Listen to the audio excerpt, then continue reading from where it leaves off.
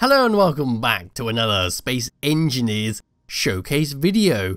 I am once again taking a look at one of your designs that you have linked me in the comment section of one of my videos. And if you wish to see one of your items shown on this channel, just leave me a link somewhere and I'll eventually get round to it. So for today I've been asked to look at the Big Miner 1, which is this thing right here.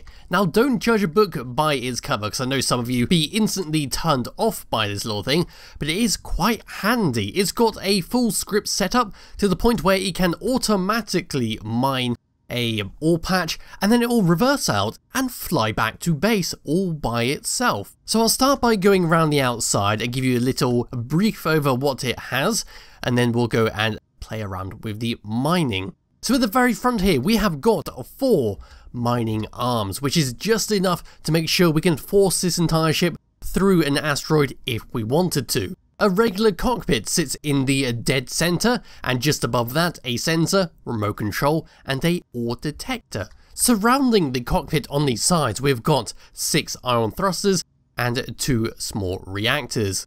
Sitting to the left and the right of the cockpit, we've got two LCD screens with some very important information. One is our O2H2 generation, the batteries and all that, and this one is to control the PAM script, which is how the whole ship is going to automatically start mining stuff, could fly back to your base, and all that. Below the cockpit, we've got two spotlights, and then we can see the conveyors which are going to be going all the way around this ship because it does have a sorter on here and it does have a lot of ejectors. So we've got the landing gear at the very bottom there and we can see first of many gyroscopes on this ship. We've got some batteries which then lead across to a large small ship cargo container which then has a bunch of sorters on there with more ejectors coming out the back. Slightly above that and attached onto the cargo container is the regular connector so you can offload all this stuff into your base. Above that is a camera to make sure you can connect up properly without damaging your ship. On the side of it, we've got lots of ion thrusters, nice small ones,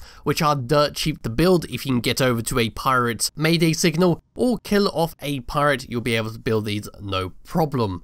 We've got some more reactors on the side there, a interior light, more gyroscopes, programmable blocks hidden inside there, and then coming up above here, we've got an antenna, We've got another LCD screen showing us the PAM script with a camera right in front of it. So if you're having trouble seeing it from the cockpit, you can always come over to this button right here and use it to see it properly. Yes, we can then come up and above where we've got another light. And that about covers it. It's got all the stuff you need to mine and it's got some lovely scripts to uh, play around with. There is that. So taking control of my character, in fact pressing F10, because I completely forgot about this, we need to find the Big Miner 1, which is right here. So this ship weighs in at 180 small blocks. It has no mods, it uses no DLC blocks, so it's perfect for survival mode, provided you can set up the scripts. So on tab number one of this ship, we have got our drills where if we click it and use our mouse, we can now shake around and drill. Number two is to simply have them on at all times. Number three is for the sorters on and off, so if you wanted to keep the stone, you can turn that off and you'll be all good. Number four is to view the PAM LCD panel if you need to be zoomed in. Number six is to view backwards, so when we're trying to connect up the connector, that is what we'll use. Number seven is to lock or unlock the connector. Number 8 is for the landing gear, and number 9 we don't touch, because that is for the PAM script, but we control it from tab number 2. Number 1 is our auto fly home button, yes, our little homing signal where if we press it, the autopilot will engage and start flying us home. I'm just going to turn that off because that is still on the mod creator's home. So if I was to find the remote, there is, you'll simply find your base waypoint add it in there and the ship will fly over to it. Number 2 and number 3 are to control the speed of your autopilot, so pressing number 2 will increase it, 3 will decrease it. 4 is to view the PAM panel once again, and 6 is to view behind you once again. Now, number 7, 8, and 9 is what we're going to use to auto mine. So 7 and 8 are to control this up and down. I will go into camera number 4 so you can see this a bit clearer. So pressing 7 will scroll up, pressing 8 will scroll down. Pressing number 9 is okay, so if I went over to info, and press number 9, it'll then go to that. So we can just press next, back, and all that. So this has been set up for the mod creator to mine, but you can largely ignore that if you're not interested in it and simply click the set up mining job. So if I was to come out of this camera and sort of fly close to this asteroid, so I want to be maybe over here. I'm then going to press number 9, until we get this panel, where we can change the width and the depth of how we want to drill, but I'm just going to press number 9, my hands are now off the keyboard, the ship is going to automatically move over a certain distance and then it will push forwards and start mining. So here we go, we're flying at a very slow speed, but I'm nowhere near the asteroid, so this could be a disaster. So here we go, we're going to very slowly move towards this asteroid. I probably should have gone a bit faster, but yes. If you want to stop the PAM script from working, we simply press number 9 again to stop it. So we're just going to keep going forwards like this for a predefined distance, and then the ship will automatically reverse itself out the hole back to your starting position, and then attempt to fly back home. So if you don't have any coordinates set up, or you're simply spawning this in of the workshop, then it's going to try and fly back to the original GPS location of the uh, creator's base. So here we go, we're just going to make a nice little hole into this. We've got a perfect drill set up, so we can just keep ramming ourselves forwards. And then our ejectors at the back there will just keep the stone going out. Now, as you saw there, we are now automatically reversing because the PAM script believes that we have completed everything with the drilling thing. But yeah, that's going to keep pooping out all the stone there in perfect sync like that. We can just come over to this bit. In fact, I'm going to line myself up like so. I can then press number 9 and start a new job. We'll slowly move to the left, which is how it's going to start a new hole. So if you just came out of a fresh hole, press number 9 again, and it'll move you across a little bit and start drilling. So this one should be a little bit deeper. And then it will reverse itself out. So it's going to keep ejecting all that stone out there, so make sure you've got the clean up turned on. In fact, that is just simply reversed out. It did not like that one. So I was playing around with this a little bit earlier and I made this lovely hole down here in this giant uranium patch. Although it might be because we are full up of resources. In fact, probably is what has happened. So I'm just going to take everything out of this. There we go, hide all the empty.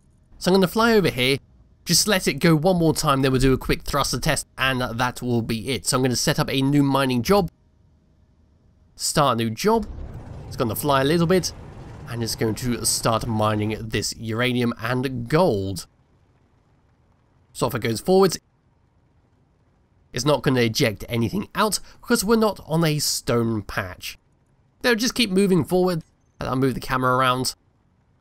Yeah, it'll just gather stuff up. Once you're full, it'll pull itself out and we're good to go. It's doing a fantastic job, look at that go. I think it's because it's wobbling around, it's managing to hit a lot more of the area around itself. There we go, we can see the load down there filling up, and our maximum load is 80%. We're now on 18, which is going to keep going. And here we go. We've gone for quite a while now, so if I was to view backwards, we've made one hell of a big tunnel through here, and the ship is automatically reversing itself all the way out, and should give us a nice clear distance for us to take over and fly it to where it needs to go, unless of course you set up the GPS coordinates, and then that will do. So there we go, we should be able to go into the third person camera any minute now. There we are. It'll reverse all the way out the hole, so there we go, back to where we started. And then it's going to move across a little bit and we'll probably start again. So here we go again. It's going to start drilling until it fills itself up with all the stuff it needs. And there we are, we're about to hit our maximum of 80%. There we go. And now you see there, it's flying to the drop path, which is 163,000 meters away, which is the creator's base. So now it's time to do a little thruster test. I've shown the outside and what it can do with his little drilling function. So going forwards, we got quite a slow speed, but this is a miner, not a fighter, so speed isn't really that useful. So going backwards, fair amount of speed, going left, and going right. It's quite slow. Going down and then going up. Again is quite slow, but it does seem well balanced all the way around the outside. I'm wiggling my mouse around. Now this is the odd part. We have way too much control on this thing, to the point where I would recommend finding the gyroscopes and dropping it all down to around about 45%, which will then put you, well, it's still a little bit off. In fact, you could just turn off two of the gyroscopes and yeah, that's a little bit better in terms of control. So that is that. It's a nice little mining ship and I do like the script that goes with it. And I do like how the drills have been placed and everything on the ship, including the script placements and all that. And the fact that you can just drive all the way through without being worried that you're going to scrape along the side of a wall and damage your ship. So it'll be in the description below if you wish to download and play around with this yourself. I highly recommend you do because it is fun to play around with that PAM script and have it all set up for you and ready to go. So thank you all for watching and I'll be back with another showcase video some point soon. Bye bye.